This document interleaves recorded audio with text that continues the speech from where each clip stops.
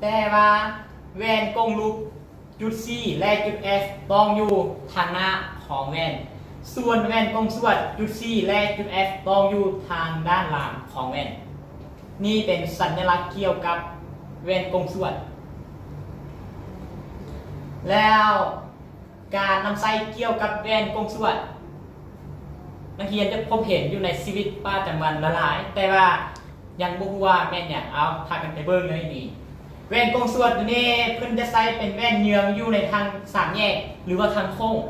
ในเมื่อที่ว่าอยู่ทางสามแยกหรือว่าทางโค้งพวกหลานขี่รถไปไกลข้าเจ้าจะเอาแว่นตัวนี้มาตั้งใส่เพื่อเห็นบอลอยู่ทางหน้าของบอลโค้งเพื่อให้มีรถบานเบื้องหน้ามาให้เขาเห็น นี่แมนเขาเจ้าจะเอาแว่นกงสวดตัวนี้มาเฮ็ดและอีกอันหนึงมาใส่เป็นแว่นเพื่อเบื้องรูปเบื้องหลังของรถคนขับรถ เอาคนขับรถตัวนี้มันจะมีอยู่อนาคตมาเฮียนหลายคนเนาะจะได้ขับรถแว่นที่ข้าเจ้าเอามาตั้งใส่รถแม่นแว่นกงสวด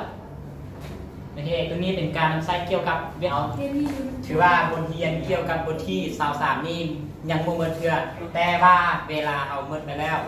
แล้วในคลิปหน้าหรือว่าในชั่วโมงหน้าต่อไป อาจารย์จะสอนเกี่ยวกับการสร้างแดนรูปพานแว่นกงสวด และแว่นกงลุกเอาแล้วสำหรับ บทเรียนที่เราเรียนมาชั่วโมงนี้ สิ่งหลักๆ ให้นักเรียนจื้อให้ได้คือหนึ่งความหมายของแว่นเทียง แว่นเทียงนี่แว่นแม่นแว่นที่สะท้อนแสงเกือบสมบูรณ์ทั้งหมดตัวอย่างง่ายๆคือแว่นที่เราแยงทุกวันนี้ อันที่สองมาแวนโกงมีอยู่สองชนิดคือแวนโกงสวดและแวนโกงลุกอันที่สามมา ความหมายของแวนโกงลุกแวนโกงลุกแมนแวนที่มีหน้าสะท้อนแสงอยู่ด้านในต่อไปอันที่สี่แวนโกงส่วดแวนโกงส่วดมีแมนแวนที่มีหน้าสะท้อนแสงอยู่เบื้องนอกของแวนแล้วท่านการเรียนในชั่วโมงนี้เนาะถือว่าความรู้ที่อาจารย์สอนไปนี่บ่หลาย แต่ว่าให้พวกหลานพวกน้องนักเรียนเมื่อทุกคน จงนำใช้ความรู้ที่อาจารย์สอนไป ถึงว่าบ่หลายก็น้อย แล้วขอให้พวกหลาน คนกลัวคนเฮียน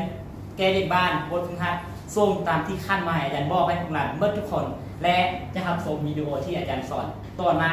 ต่อไปเกี่ยวกับการสร้างแดนภูพันแวนกงลุกและแวนกงสวดเอาขอขอบใจ